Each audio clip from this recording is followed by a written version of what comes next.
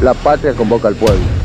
Todos aquellos que se sientan trabajadores, todos aquellos que se sientan argentinos, todos aquellos que se sientan dirigentes, pueden venir.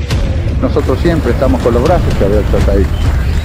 Buscamos el alma, el sentimiento que debe tener la Confederación General del Trabajo, donde la defensa de los derechos del trabajador sea prioridad una. Y nosotros luchamos por eso, contra la desocupación, contra los salarios.